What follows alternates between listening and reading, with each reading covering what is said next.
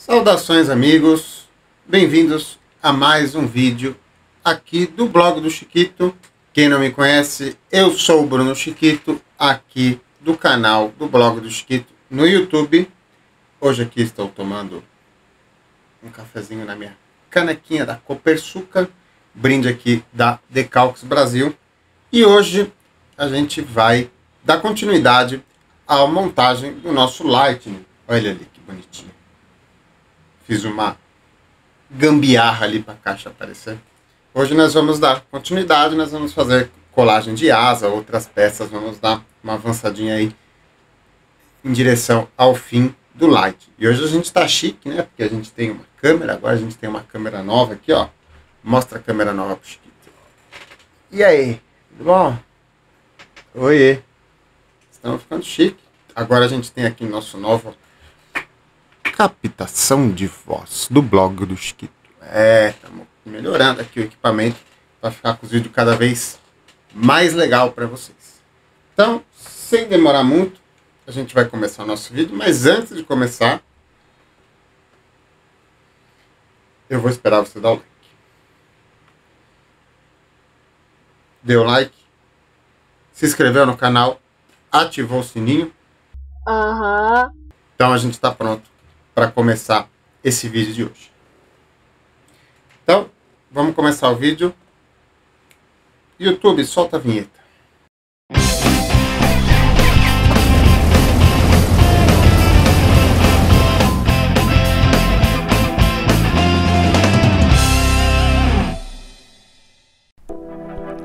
Este vídeo é um oferecimento dos padrinhos do blog do Chiquito.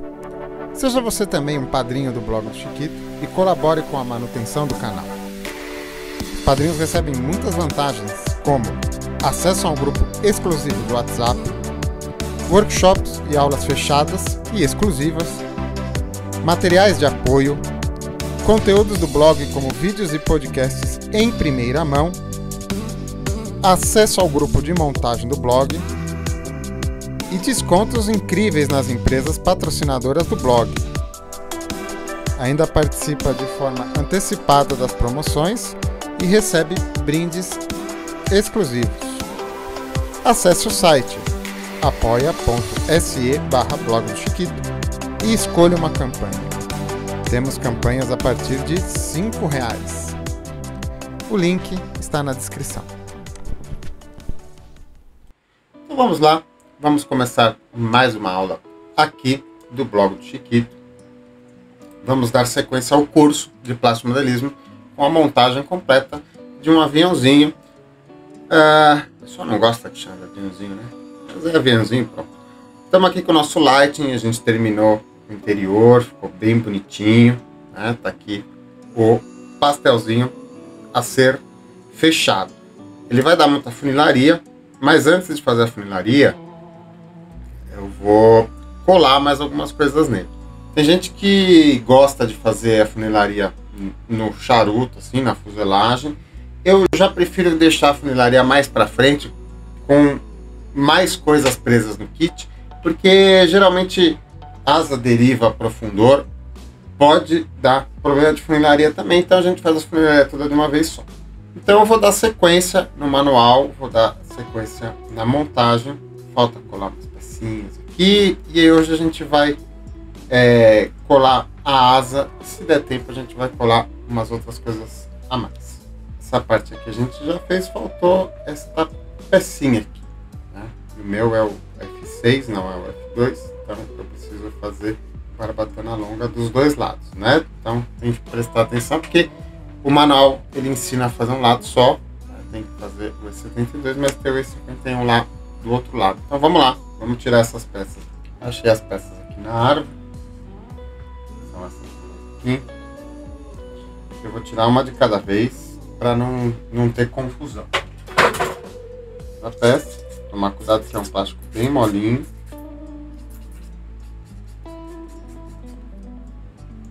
A gente vem aqui, faz o dry fit da peça aqui, seguindo o manual. O manual bonitinho, né? Vamos usar a câmera nova aqui. Já que tem, né? Vamos usar a câmera nova. E ela tem a curvatura certinha aqui para emendar com o friso que já tem aqui no kit. Olha que legal. É bem bacana, né? E dá continuidade aqui no friso. Tem até que tomar cuidado para ele ficar bem certinho um no outro. Vou colar com cola fina.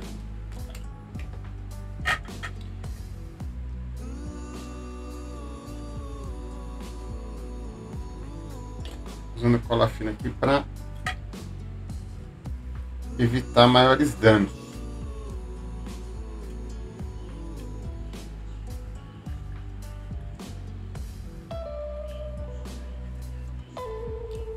Legal. Vou fazer o outro lado agora.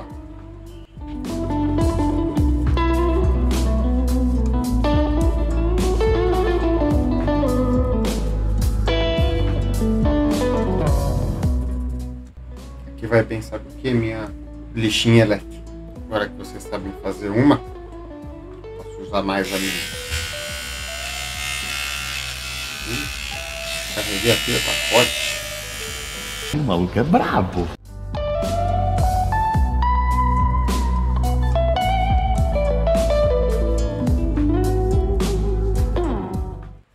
Colamos os frisos. Agora a gente pode avançar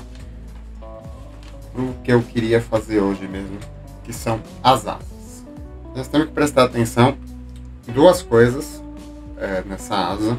Primeira coisa é que essa asa é uma asa que tem flap móvel. A gente precisa ver se a gente vai escolher uh, fazer o, o flap móvel, o flap baixado. Tem que prestar atenção se vai fazer o flap baixado para fazer a pintura aqui do serviço do flap e tudo mais. E segundo que uh, se você for pendurar alguma coisa na asa, você precisa fazer os furos na asa. Ele está avisando que precisa fazer furo. Então eu vou tirar as duas peças aqui, a D1 e a, D, a D2. São duas peças. acabei de achar um erro no manual. Não, é uma D1 e uma D2. Caraca. Tá bom, eu vou tirar as duas peças e vou fazer os furos.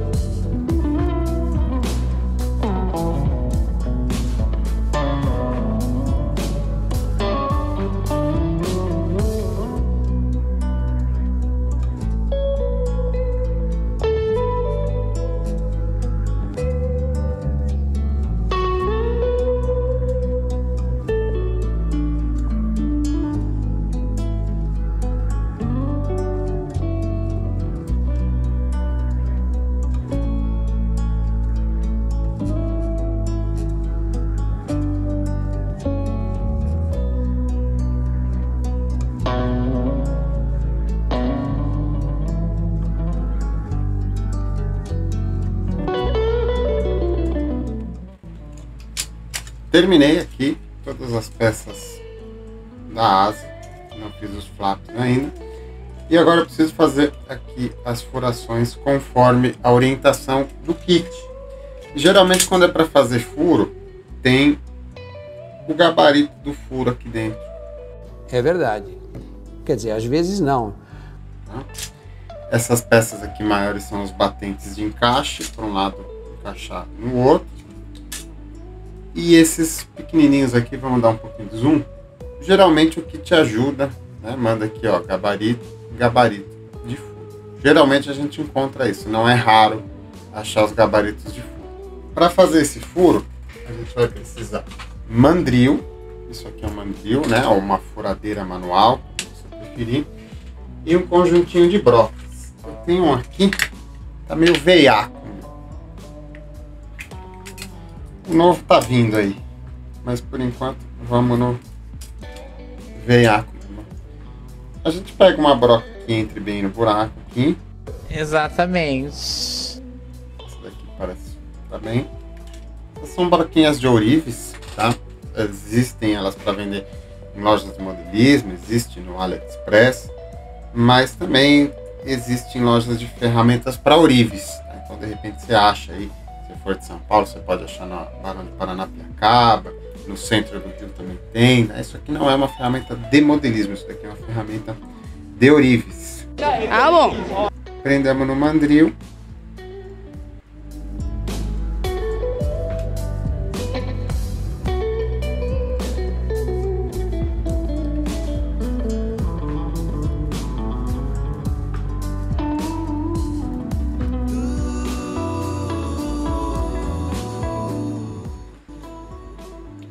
Começo é mais seguro você fazer manual. Se você tiver uma micro retífica que seja muito delicada, né, como no caso essa daqui da, da Dremel, a estilo, ou até você tiver alguma aí dedicada ao hobby, você pode até experimentar fazer os furos no seu kit utilizando uma ferramenta elétrica. Mas, sinceramente, no, eu recomendo que você tenha um mandril manual e eu recomendo também que no começo aí, se você está nos seus primeiros kits, vai manualmente para você pegar as manhas do furo no estireno. As dremels, as micro retíficas, elas podem ser fortes demais. Eu gosto de, de passar os dois lados para limpar o acabamento aqui da asa. Agora a gente faz o, o dry fit das peças da, da asa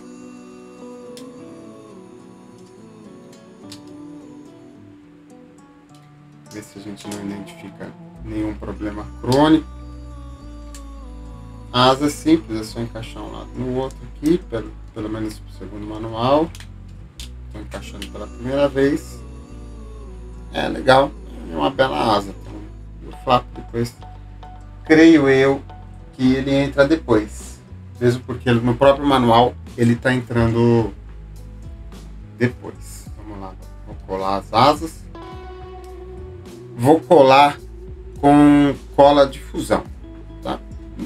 Não tem problema é, se você quiser colar com sonacrilato, mas eu vou preferir cola de fusão aqui para dar um pouco mais de resistência aqui no, no conjunto. Então vamos lá, vou colar as duas Coloquei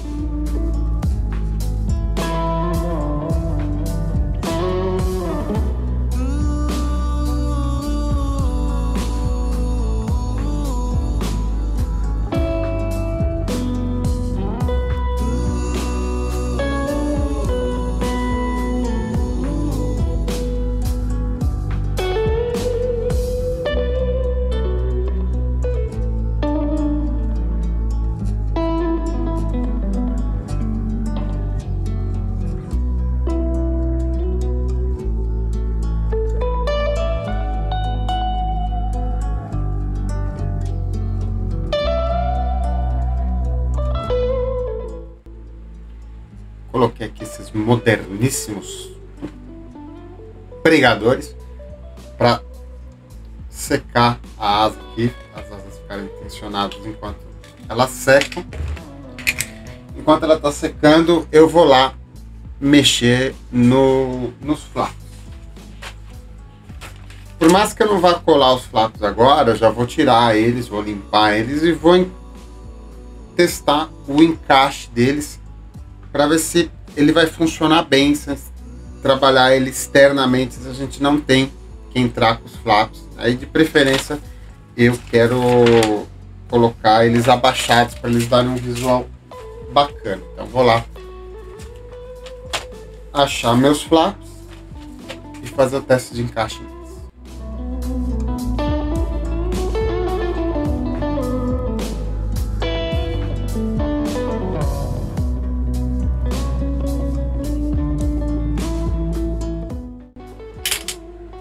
Está o encaixe dos flaps.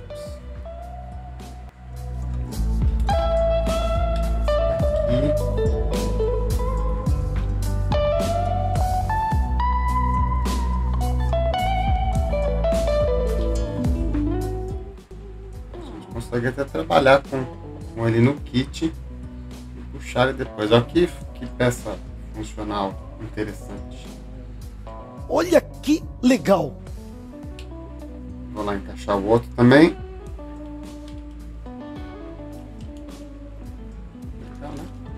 E agora, seguindo o manual, ele já orienta a gente colar as asas.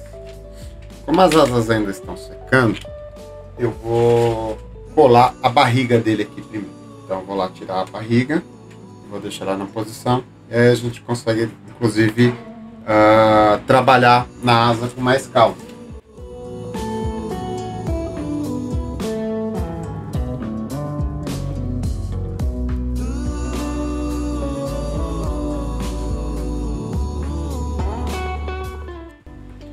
Peça dupla, né? Tem uma junçãozinha aqui. Só que o lado bom é que ele vai formar uma linha aqui embaixo, mas essa linha existe no avião, então a gente não precisa se preocupar muito com funilaria. A gente não precisa se preocupar muito com funilaria, eu vou colar com os tianaquilatos, né? Ser mais rápido.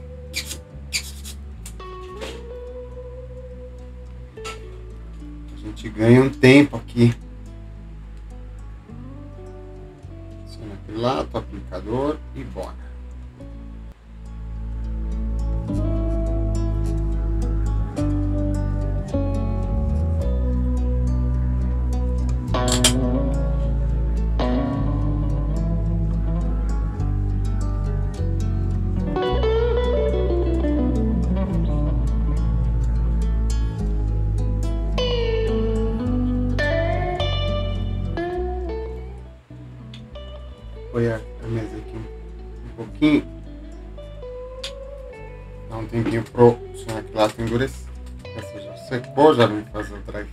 Aqui. Né? Barrigudo, né? Nosso, nosso light. Já vou botar essa peça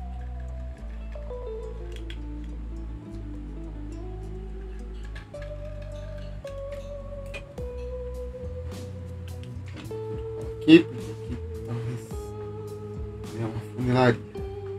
Mas eu tava vendo nos esquemáticos aqui, nos, nos, nos blueprints, até mesmo no próprio perfil do, do avião no, no kit, né? Ele tem essa linha aqui na parte de baixo. Então a gente não vai precisar assumir por completo essa linha. Ela tá feia, a gente precisa dar uma melhorada nela, mas o fato dela existir, a gente não ter que sumir com ela, já é um grande alívio. Vamos ver se eu consigo prender alguma coisa aqui. Pra segurar essa secagem aqui. Minutinhos pra mim, ó. Enquanto as colas secas. As colas secam. Tomar um café. Aproveitei enquanto a cola tava secando. Tá secando ainda. E vim tratar dos profundores do kit. Esse aqui e esse aqui. Já tirei eles da árvore, já limpei as rebarbas, já tirei as linhas de injeção e vim avaliar a situação deles aqui. né? É uma deriva bem esquisita e ela tem que ficar bem alinhadinha depois uma com a outra. Mas se a gente conseguir trabalhar com elas soltas, a gente pode colar depois. Existe uma discussão aí se se cola o profundor antes ou depois da pintura. Não existe uma resposta certa para isso. Ah, vai depender muito do seu projeto de pintura.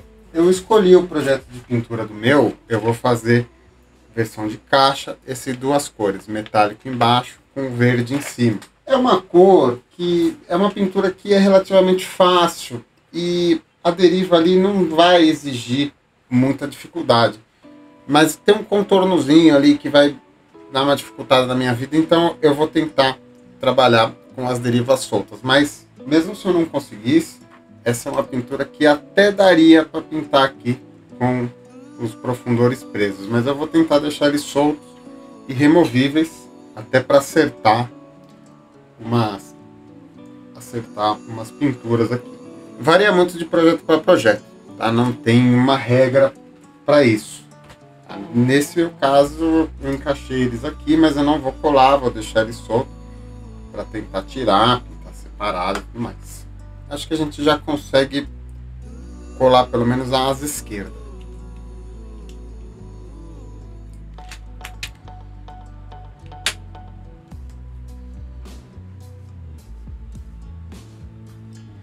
Um de asa bem esquisitão esse avião, mas é legal, né? Gosto, eu gosto. Esquisitices ingleses. A gente precisa tomar cuidado agora, do funcionamento do flap, muito provavelmente não vai conseguir tirar ele daqui depois. Mas ok, ok, acho que eu consigo lidar com ele nesse lugar onde ele está. A gente precisa tomar cuidado com o diedro do avião.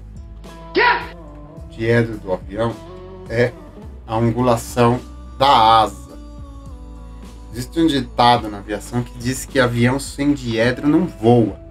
Então a asa do avião ela vai ter sempre alguma angulação, alguma inclinação, pode ser para cima, pode ser para baixo. Você vai ter que dar uma pesquisada, ver se o referencial tem o referencial do kit fala alguma coisa, até o manual às vezes fala alguma coisa, tá? mas geralmente uh, o avião tem um, um. Como que a gente pode fazer para acertar, mesmo tendo poucos referenciais? A gente pode se preocupar em encaixar bem a asa na fuselagem, tá? Só tomar cuidado se a fuselagem estiver torta, estiver empenada, uh, você pode jogar a asa ali para dentro da fuselagem e uma asa vai estar torta em relação à outra. Tá? E essa é a principal dica. Às vezes a gente até aceita num kit, assim, ter, é, que haja uma diferença de, de diedro, que o diedro não, não esteja 100% certo. Né? O mais importante para que o seu kit não aparente estar é, com o diedro errado é que o ângulo das duas asas estejam iguais. Né? Então, se for para errar, é igual dos dois lados. É uma dica meio bizarra, mas a verdade é essa. Né? Avião com o diedro errado é feio. Avião com, a, com o diedro torto é quase inaceitável. Eu vou aproveitar o próprio, a própria área de encaixe aqui e vou focar minha cola nesse lugar aqui. Vou tentar não pôr muito para não dar, não vazar muita cola. Vou tentar encaixar minha asa só por aqui.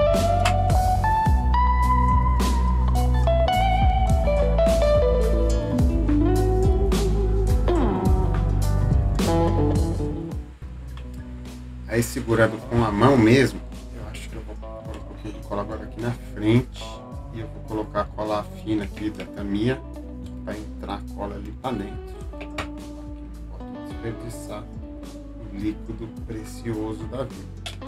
E o diedro desse avião é meio para baixo, tem as asas caídas. Estou segurando, mas além de segurando, eu estou fazendo uma leve pressãozinha da asa contra a fuselagem para ajudar na fusão das peças. Uma peça entrar melhor na outra. E vou segurar por um tempinho aqui. Tá? Esse encaixe aqui tá ruim, não tem muito o que fazer. Vou ter que segurar na mão aqui. Então, vou dar uns minutos aqui na mão para pôr a outra asa. Alguns momentos depois. Já tem um mínimo de, de rigidez de um lado. Vou pegar a outra asa e pôr lá no mesmo esquema. Gostei desse esquema aqui, vou tentar repetir.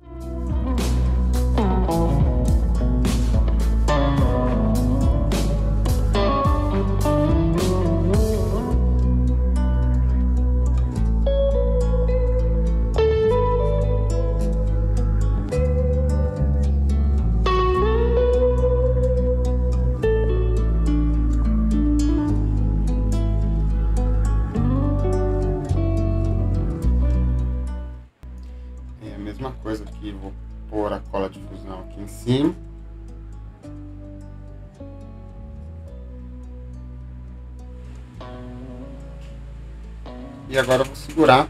Só que agora eu vou segurar aqui olhando para o avião e tentar segurar na posição para que os diedros batam. Deixa eu mostrar aqui para vocês que o ângulo de vocês é diferente do meu. Então, o mesmo esquema, eu estou forçando a asa contra a fuselagem para ajudar na fusão.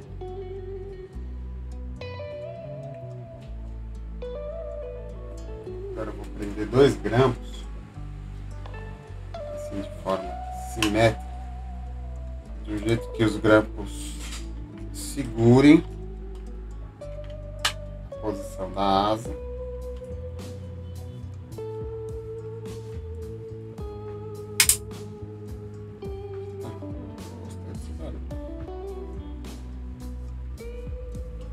Segurar a posição da asa